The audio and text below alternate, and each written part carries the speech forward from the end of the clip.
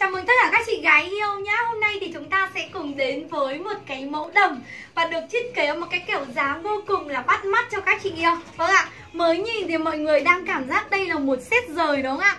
À, Tuy nhiên ở đây thì chúng ta đang được chiêm ngưỡng với một em đầm liền thiết kế dáng mép lung Ở bên trên thì được phối một cái màu hoa rất là nhã nhặn Và cho các chị gái một cái nét lịch sự và năng động hơn rất là nhiều. À, Kèm theo đó là thân bên dưới thì bên em đang thiết kế một cái màu đen các chị yêu nhá.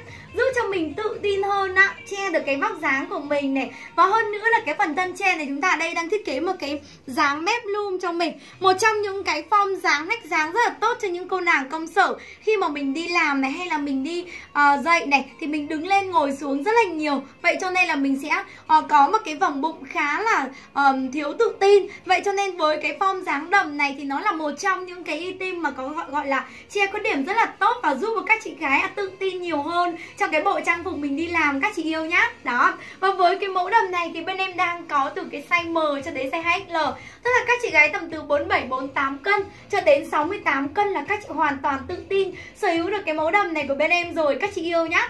Và mẫu đầm này thì bên em có giá là 850 nghìn Và chúng ta hoàn toàn được miễn phí ship. Các chị gái nào mình đang yêu thích Muốn tìm tìm kiếm cho mình một cái mẫu đầm như thế này thì hãy nhanh chóng, các chị yêu nhá.